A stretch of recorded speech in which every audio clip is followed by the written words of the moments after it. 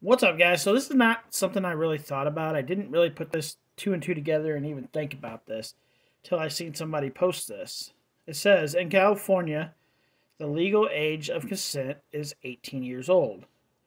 Readers should note that under PC 261.5, it doesn't matter if the S was consensual or if the minor indicates the S activity in other words, the statute prohibits any type of S activity with anyone under 18.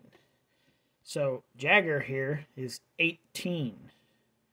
Kiely was 16. Why is this guy not in jail? By their law, by their law, he should be in jail. By law. Why is he not?